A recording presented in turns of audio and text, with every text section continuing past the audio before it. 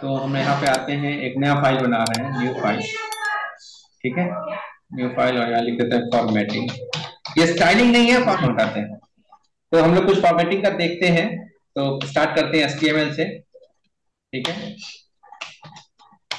Title दे दें. Head क्या है? हेड ठीक है? हेड बंद कर देते हैं. इतना तो आप लोग को याद हो गया होगा कि हेड बंद करना है. इतना याद हो गया हाँ? सर हेड आप बंद करना है। उसके बाद बॉडी बॉडी में सारा चीज़ लिखना। है बॉडी डालना है ठीक है। अब हम यहाँ पे लिख रहे हैं पी ठीक है? और यहाँ पे लिखते हैं P this is a paragraph ठीक है? दिस इज़ अ पैराग्राफ लिखे अब इसी P dot this is a paragraph को पी के बाद एक और टैग में हम लिखते हैं बी टैग में। अच्छा एक सेकंड रुक जाइए। पहले इधर हम सैंपल दिखा दें। फॉर्मेटिंग वाला राइट रिव्यू देखते रहेंगे इधर। ठीक है? तो अभी हम केवल पैराग्राफ डाले हैं तो आप देखिए दिस इज़ अ पैराग्राफ ऐसा लिख रहा है राइट अब हम इसमें टैग लगा देते हैं डी टैग ठीक है? डी टैग और यहाँ पे दिस इज़ को डी टैग में डाल देते हैं। कहीं भी आप बंद कर सकते हैं ठीक है? तो अभी देखिए तो कुछ फ़र्क पड़ रहा है।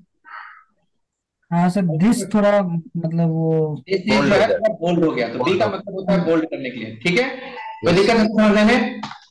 समझने में ठीक है तो ये सब कुछ फॉर्मेटिंग से रिलेटेड है जो कि पहले से आपको दिया हुआ है। आप इसको यूज़ करेंगे कि नहीं करेंगे चांसेस थोड़ा कम है जब सीएसएस यूज़ करने लगते हैं तो ये सब का ज़रूरत नहीं पड़ता है।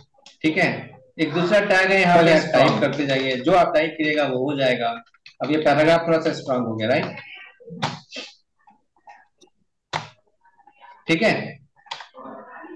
कोई दिक्कत इसको समझने में? ये केवल आपको बता देना कि हाँ आपको पता होना चाहिए कि हाँ ऐसा कुछ है। ठीक है? यहाँ पे एक आई अपने आप ही आ गया कि देख रहा है कि बोल्ड किए स्ट्रांग किए तो हो सकता है अगला बार आई करें तो ये अपने आप ही आ गया। ठीक है? उसके बाद फिर से फिर आह ये खुद ही से आ रहा है। ये ईएम क्या होता है? ये इम्फेसाइज होता है। इम्फेसाइज का मतलब क्या होता है? जैसे देखिए आई जो है इटैलिक हो गया। इटैलिक का मतलब समझ रहे हैं? टेढ़ा दिख रहा है थोड़ा सा। दिख रहा है ना? ठीक है। ये इम्फेसिस का मतलब क्या? थोड़ा सा इसका फॉर्मेट जो है उससे अलग कर देगा। मतलब नॉर्मल वाले से ठीक है? तो थोड़ा सा ये अलग कर देता है। ठीक है? ये थोड़ा सा इटैलिक जैसा लग रहा है चाहे जो भी लग रहा है इसको बोलते हैं इम्फेसाइज करना। ठीक है? थोड़ा सा अलग करने से उसको दूर से पढ़िएगा मतलब पढ़िएगा कोई एक चीज़ ऐसा टेढ़ा मेरा लिखा रहेगा तो दूर से पता चलेगा ना कि हाँ कुछ एक्स्ट्रा है ये कुछ एडिशनल चीज़ है। ठीक है? हेलो यस सर ठीक है? अब यहाँ पे है मार्क ये मार्क कर देगा। मार्कर दिख रहा है? यस सर येलो पे है ना? पैराग्राफ को हम मार्क किए हैं तो मार्क कर दिया। ठीक है? इसके बाद हमें ये स्मॉल अच्छा है तो अपने आप ही लिख के दे रहा है। ठीक है? तो ये स्मॉल तो ये जो थोड़ा सा साइज़ इसका जो है देखिए पैराग्राफ जो है, पहले ही से स्मॉल में लिखा हुआ है, उसको स्मॉल में लिखते हैं।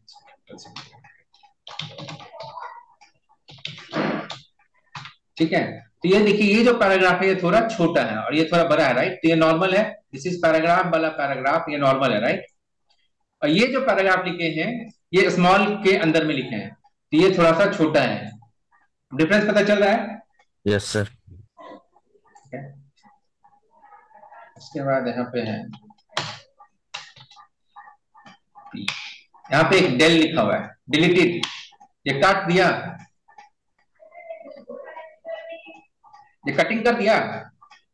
यस ठीक है तो ये डी डेल लिख के डालिएगा ये स्ट्राइक कर देगा। मतलब इसको डिलीट किया हुआ है राइट कोई दिक्कत इसमें? और ये क्या है? इंसर्टेड टेक्स्ट इसको बोलते हैं आईएनएस आईएनएस का मतलब होता है इंसर्टेड टेक्स्ट तो टेक्स्ट को थोड़ा सा वैल्यू लेके देखिए क्योंकि वो टेक्स्ट अच्छा नहीं दिखता वहाँ पे समझ में नहीं आ रहा है। डेल डेल के राइट तो डेल आप बोल रहे हैं कि आपको समझ में नहीं आ रहा है कि क्या हो रहा है राइट तो एक तो हम ऐसा कर सकते हैं। हम अभी स्टाइल नहीं यूज़ कर रहे थे बट एनीवे anyway, आप कर दी बोल रहे हैं। स्टाइल अब दिख रहा है? हाँ अभी दिख रहा है अभी दिख रहा है। तो छोटा दिख रहा था इसलिए पता नहीं चल रहा था। हाँ। ओके अब सही है राइट यस ठीक है चलिए। अब अभी हम लोग इसके बारे में बात नहीं कर रहे बाद में बात करेंगे ठीक है? चलिए ये क्या था? ये इंस इसके बाद आपके पास है एक है इंसर्ट और अंडरलाइन में कुछ फ़र्क है क्या सर ओके ये इंसर्ट अंडरलाइन में क्या फ़र्क है जरा देखते हैं। नॉर्मली अगर आप वर्ड एक्सेल में जाइएगा ना तो एक फीचर होता है वहाँ पे रिव्यू करने के लिए।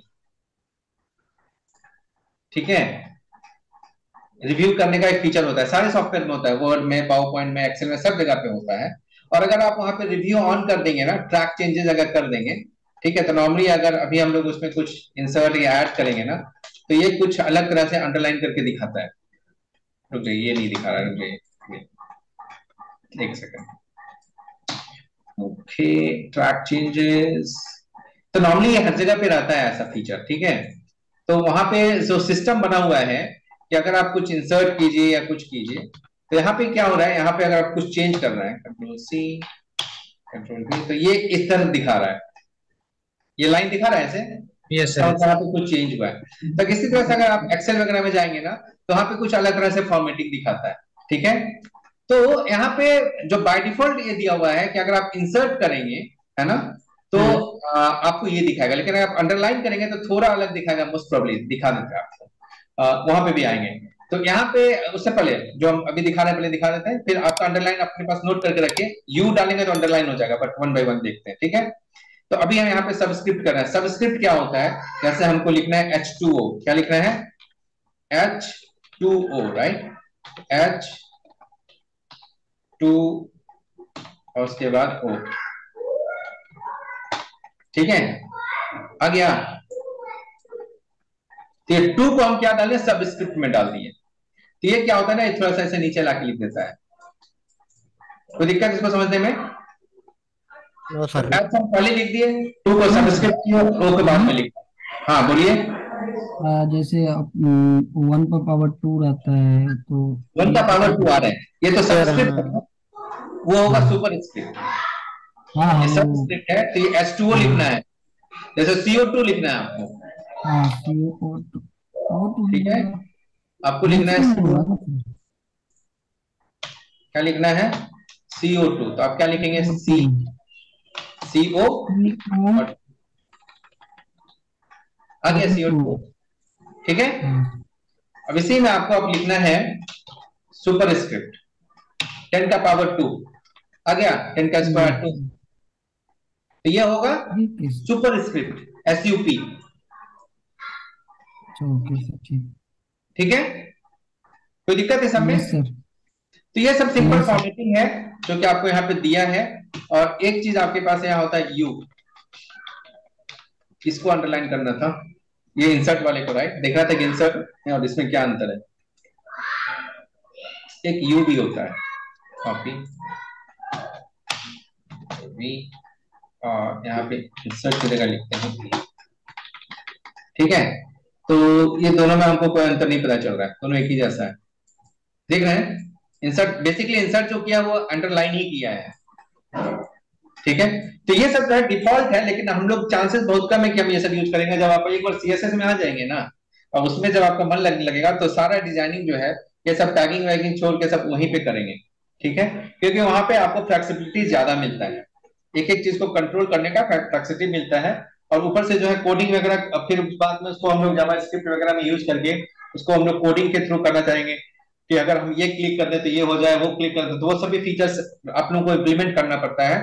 तो फिर उसके बाद जब आप लोग सीएसएस वगैरह करने लगेंगे तो ये सब टैग में या लोग भूल जाते हैं। सब कुछ जो है div और सीएसएस मतलब div और स्टाइल div स्टाइल और div स्पैन स्टाइल यही सबसे सारा काम होता है। ये टेबल वेबल जो भी कुछ है लोग सबको भूल जाते हैं। चलिए। एक आपके पास यहाँ पे ब्लॉक कोड भी होता है तो इस पर थोड़ा सा बड़ा कुछ लिखेंगे ठीक है? पी ओके है हम्म ठीक है तो हंड्रेड कुछ तो दिखा रहा है इसको हम थोड़ा नीचे कर हंड्रेड वर्ड आ गए। ठीक है। ये सब आप लोग को याद करना पड़ेगा ठीक है ये लोड ठीक है और आप लोग अपना याद कीजिएगा।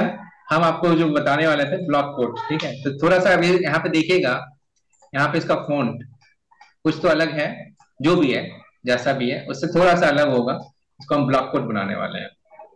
एक यहाँ पे टैग होता है ब्लॉक कोड तो आपको ये सब याद रखना पड़ेगा भाई ठीक है? कुछ ज़्यादा लिख दिए क्या? हाँ सर ज़्यादा हो गया थोड़ा थोड़ा सा फिफ्टी तक लेना चाहिए था। ठीक है चलिए ठीक है? तो ये मेरा कंटेंट है। इसमें से कुछ चीज़ को हम लिख देते हैं। एक है यहाँ पे ब्लॉक कोड ब्लॉक कोड ठीक है? ब्लॉक कोड स्टार्ट किए और इसको यहाँ पे हम बंद कर रहे हैं। ठीक है? ब्लॉक तो ये जो चीज़ ऊपर वाला चीज़ अलग हो गया, ये अलग हो गया। बीच में जो चीज़ हम जिसको कि ब्लॉक कोड में लिखे हैं, यहाँ से लेके यहाँ तक का। देख रहे हैं आप लोग? यस सर है ना? जो भी कुछ हम ब्लॉक कोड में ऐसे लिखे हैं तो ये क्या हो गया ना इसका फॉर्मेट अलग कर दिया एक ऐसा करके ब्लॉक कोड कर दिया। जैसे आप देखेंगे कोई ब्लॉग वगैरह में बीच में नहीं आ, जैसे कोई किताब लिखा हुआ है। बीच में कुछ हाईलाइट करने के लिए पॉइंट लिखा हुआ रहता है। यस सर राइट तो ये आपका ब्लॉक कोड वही चीज़ है। ठीक है? ब्लॉक कोड और मार्क में क्या डिफरेंस है? मार्क भी यूज़ किए थे ना आपसे ऊपर? मार्क भी है तो सबका आपके पास है आप इसको मार्क में भी करके देख लीजिए। रुक जाइए। डिफरेंस ऑफ़ नहीं है, सब फॉर कुछ तो ये करता नहीं है केवल फॉर्मेट ही ना बनाता है। ठीक है? और जब आप एक्चुअल में कोडिंग करेंगे ना तो आप ये सब नहीं यूज़ करेंगे। ठीक है? आप जो आप जो है, ये सब यूज़ करेंगे नहीं, आप जो यूज़ करेंगे, वो सब यूज़ करेंगे सी एस स्टाइलिंग कि हमको इसका स्टाइलिंग अलग चाहिए, हमको इसका स्टाइलिंग अलग चाहिए। ठीक है? क्या आप यूज़ नहीं करेंगे। बट ये केवल आपके नॉलेज के लिए हम बता दे रहे हैं कि ये सब भी है। कि आप अगर एस्टीएमएल बोलते हैं कि हमको आता है इंटरव्यू में तो आ, कुछ भी लोग पूछ सकता है। तो चलो आपको कम से कम इतना तो है कि आपको पता है कि हाँ ये सब भी चीज़ है। ठीक है? तो बस हम आपको उसी के लिए बता रहे हैं। तो कॉपी कर लीजिए इसको मार्क में चेंज कर दें ठीक है? और नीचे आइए। ये मार्क जो है देखिए दोनों में डिफरेंस है। मार्क तो देखे थे ना ये आपको ये केवल हाईलाइट कर देता है ये हाईलाइट कर रहा है राइट और ये जो है अलग से सेक्शन बना दिया है राइट एक लाइन चेंज किया एक थोड़ा सा गैप डाला तो यहाँ पे देखिए गैप थोड़ा अलग है। यहाँ जो गैप है थोड़ा अलग है राइट ये गैप हम तो कुछ नहीं दिए थे ना। हम तो कंटिन्यूस लिखे थे राइट तो ये जो है नया पैराग्राफ स्टार्ट किया जाए जो भी नया सेंटेंस स्टार्ट किया और यहाँ पे फिर क्या है? यहाँ पे गैप डाल दिया राइट और गैप डालने के बाद उसको जो है, यहाँ पे लिख दिया।